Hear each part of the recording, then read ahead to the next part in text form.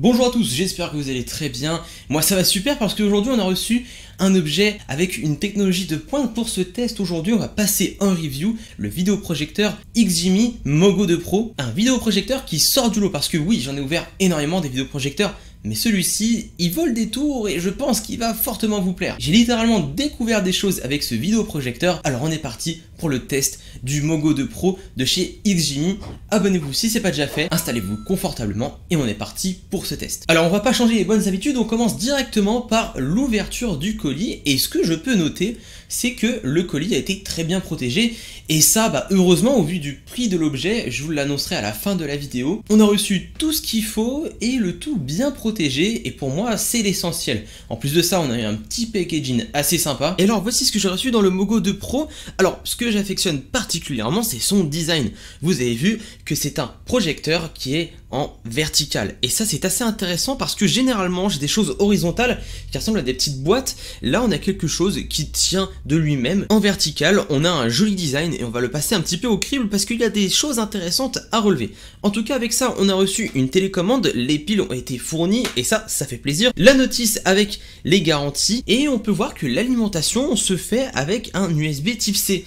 Alors ça dit à quel point on est sur quelque chose de moderne et de récent. C'est la première fois que j'ouvre un vidéoprojecteur qui est connecté via de l'USB type C. J'adore le design dans son ensemble et on va passer un petit peu justement cet appareil au crible. Alors des choses intéressantes que j'ai relevées. D'abord il est super joli et on voit qu'il y a aussi ici un auto keystone. Alors l'auto ça va nous permettre de faire des réglages selon l'inclinaison du mur et ça va se faire automatiquement. Généralement les projecteurs qui n'ont pas cette fonctionnalité là ça va se passer avec les télécommandes et on va devoir ajuster tout les coins de la vidéo. Là, ça va se faire très facilement et j'ai hâte de voir tout ça. Ce bijou technologique a un système de haut-parleurs maison. Alors, ce qu'ils appellent maison, c'est tout simplement que c'est eux qui l'ont fait. C'est XGMI qui l'ont fait, et je pense qu'on ne va pas être déçu. Je ne sais pas si vous remarquez quelque chose, mais moi je le remarque tout de suite, ça me saute aux yeux. Il n'y a pas de bouton pour régler directement le focus de l'appareil. Et cela parce que ça va se faire automatiquement. Ça va être un gain de temps, mais surtout un gain de précision, parce que oui, un laser sera beaucoup plus performant que notre œil. Vous déterminez le réglage optimal pour avoir une superbe image. Le port USB type C, l'USB normal, l'HDMI et le port jack. Et on peut voir une espèce de petite fenêtre qui a marqué XGMI Sound et là on imagine bien la technologie qu'il y a à l'intérieur pour faire fonctionner cela. Et alors ce que j'ai remarqué c'est qu'en dessous il y a un trou qu'on pourra utiliser pour par exemple le mettre sur un euh, trépied par exemple ou quelque chose de ce style qui comporte toujours une vis pouvant aller dans ce genre de trou. Au-dessus on retrouvera un bouton normal, un bouton classique, un bouton unique je veux dire pour l'allumage de l'appareil et vous avez vu qu'on va pas s'y perdre hein. entre euh, derrière il y a simplement quatre boutons, enfin quatre ports et au-dessus un bouton on n'est pas là pour se perdre, on est là pour quelque chose de pratique tout en un qui se fait tout seul avec un énorme confort. Et la télécommande, on est bien aussi parce que voilà, il n'y a pas trop de choses, on ne va pas s'y perdre et ça c'est très intéressant. Bon allez, on est parti pour l'allumer et le mettre en route. Bon, je vous ai fait saliver avec l'ouverture de ce vidéoprojecteur, mais qu'est-ce qu'il a de euh, différent concrètement? Alors, on a une technologie ISA 2.0, c'est ce qui permettra notamment à ce vidéoprojecteur d'avoir une mise au point automatique, une correction trapézoïdale automatique également et aussi une petite sécurité qui nous permettra de réduire l'intensité de la lumière quand on passe devant, il détectera du coup qu'il y a quelque chose qui passe donc il se dit il y a un humain qui passe, je baisse la luminosité pour éviter d'abîmer les yeux des gens qui passent devant le vidéoprojecteur. Et ça c'est un très bon point. Cette technologie nécessite une caméra et un petit capteur qu'il y a sur l'appareil, un capteur TOF Time of Flight pour détecter et corriger les déformations des images. Le Mogo 2 Pro embarque un laser qui permet d'améliorer la précision des réglages automatiques et aussi d'améliorer la vitesse de cette correction. Le gros avantage, ce sera de faciliter tout ce qui est réglage un petit peu fastidieux, comme par exemple la mise au point, la correction trapézoïdale qu'on est censé faire avec la télécommande. Mis à part ça, ce vidéoprojecteur de 400 lumens ISO nous permettra de faire afficher des vidéos en 1080p et 60 Hz. Le Wi-Fi évidemment intégré avec une Android TV à l'intérieur, alors c'est-à-dire qu'on n'a pas besoin de brancher un HDMI pour pouvoir accéder à YouTube ou par exemple Netflix ou Prime Video. Un poids de 1 kg, ce qui est que dalle et du coup très transportable. Un détail important sur tous les projecteurs que vous pourriez imaginer à acheter, c'est de savoir s'il fait du bruit ou non. Et effectivement, ça fait pas mal de fois que j'ouvre des vidéoprojecteurs et je me rends compte qu'il y a pas mal de bruit. Et alors là, c'est hallucinant de voir comment il est silencieux. Alors, ce qu'on va faire, c'est que là, il est allumé. On n'entend pas plus de bruit que ça, je vais vous faire écouter. vous pouvez constater que vous n'entendez rien. Et ça, c'est un gros avantage. Un avantage qui vous permet de regarder tous vos contenus sans être dérangé par un bruit sourd de ventilation en permanence. Niveau réglage, voici ce que je pourrais faire. Alors, je peux zoomer sur l'image, ce qui va me permettre, regardez bien, de pouvoir m'adapter comme je veux. Ensuite, avec un simple déplacement d'image, je vais pouvoir eh bah faire en sorte que l'image ne soit plus coupée par un mur. Voilà, encore un petit peu, je zoome un peu et ensuite je redéplace l'image pour pouvoir corriger comme j'en ai envie pour vous faire une belle démonstration de cet appareil. Et alors au niveau des applications qu'on a directement sur l'appareil, l'Android TV est merveilleuse parce que du coup on a le Google Play Store évidemment à notre disposition, Google, euh, YouTube Music directement, on a beaucoup de choses, Prime Video, voilà, beaucoup beaucoup de choses de possibles grâce à cet appareil. Voilà, vous pouvez voir tout ce qu'on a. Je ne suis personnellement pas très consommateur de tout ce qui est Netflix et séries, moi je suis plus sur YouTube ou Spotify quand je vais au sport. Et voici toutes les applications qu'on a installées par défaut. Alors vous pouvez voir que c'est pas non plus énorme et ça c'est un choix personnel. Au moment de l'installation, bah, j'ai fait en sorte de pas avoir trop d'applications et vous pouvez voir que c'est assez léger. Alors ça nous permet de personnaliser comme on veut en téléchargeant nous-mêmes les applications. Et là je vais vous montrer comment on peut diffuser euh, une vidéo qu'on a par exemple sur son téléphone, que ce soit Android ou iOS, directement sur l'appareil. En étant connecté sur le même réseau internet que l'appareil, je vais pouvoir cliquer sur recopier d'écran et sélectionner tout bonnement le nom euh, de l'appareil pour pouvoir être sur mon téléphone. Et alors ça, ça va avoir plusieurs avantages. Évidemment, une meilleure navigation, beaucoup plus simple. Après, évidemment, ce ne sera pas la meilleure qualité, mais on peut faire des choses assez drôles, comme par exemple aller sur Twitter, aller me follow, jx le slime, et voilà, en tout cas, c'est pas mal, on a une navigation très rapide grâce à Magicast. J'ai installé le projecteur dans mon escalier, vous allez voir pourquoi. Très pratique, petit, et il peut se faufiler partout, et ça c'est un très très bon point. À vrai dire, il ne fait que 16,6 cm de haut, pour un poids de presque 1 kg tout rond. Il est un petit peu plus grand que son prédécesseur le Mogo Pro qui euh, mesurait 14,6 cm et lui de hauteur il fait du coup 16,6 cm. Quelques centimètres de plus mais c'est pas du tout dérangeant au vu de la qualité qu'on va avoir avec ses 400 lumens ISO de la 1080p en 60 Hz. Allez pour ce test je vous emmène au Japon et on a de belles images.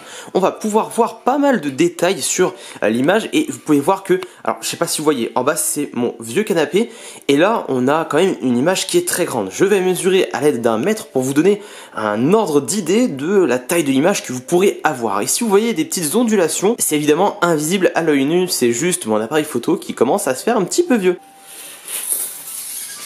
Et après avoir mesuré, je peux vous dire qu'on est sur une longueur de 2 mètres en partant d'en bas. Et c'est assez incroyable de voir la taille qu'on peut avoir dans son salon avec un appareil aussi petit et on va pouvoir tester également le son mais en tout cas l'image je la trouve très très bonne là j'ai mis en 1440 au lieu de la 1080 donc peut-être que ça peut un petit peu changer la qualité et améliorer et à l'aide de la télécommande en appuyant sur le bouton qui est en haut on pourra avoir une correction automatique qui se fait plutôt bien. Hein. J'avouerai que ça se fait très bien. Et là, on peut voir qu'il y a quand même eh ben, euh, une meilleure mise au point. Une mise au point qui se fera également grâce au laser dans tous les cas. Et là, ben, on, on s'y croirait. C'est assez incroyable, on s'y croirait, les couleurs sont belles évidemment. Mais premier test à chaud, eh ben je suis très content. Et quelque chose de sécuritaire avec cet objet, alors oui, on peut faire de la sécurité avec un projecteur. Alors vous allez voir que quand je vais passer devant, hop, voilà, là la lumière c'est quasiment éteinte. Et ça nous affiche protection des yeux, un objet détecté euh, dans la zone de projection. Donc c'est pour éviter de se niquer les yeux. Et je trouve ça plutôt ingénieux. On a la possibilité de le désactiver, mais je le trouve quand même pas mal, surtout si vous l'utilisez assez souvent et que vous voulez pas bah, avoir des problèmes aux yeux si vous passez devant le laser. Au niveau des paramètres, on aura pas mal de petites choses. Alors mode d'image, moi j'adore parce que on pourra par exemple mettre quelque chose de un peu plus normal, voilà basique, si vous regardez des choses un peu plus formelles, alors que par exemple si vous voulez simplement regarder une vidéo, le mode d'image film est très bien. Et pareil pour la sonorité, on aura des choses assez sympas que j'ai testé.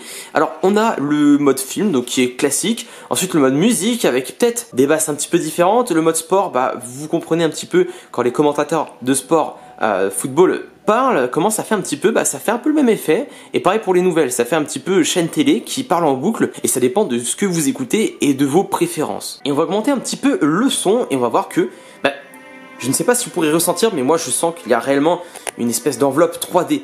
Euh, quelque chose de très bien fait qu'on retrouve pas sur évidemment tous les projecteurs. Je pense que c'est le meilleur son que j'ai entendu sur un projecteur.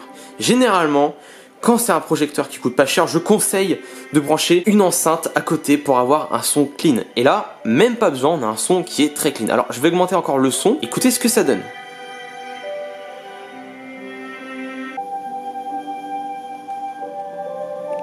On change les paramètres sonores et qu'on met quelque chose musique.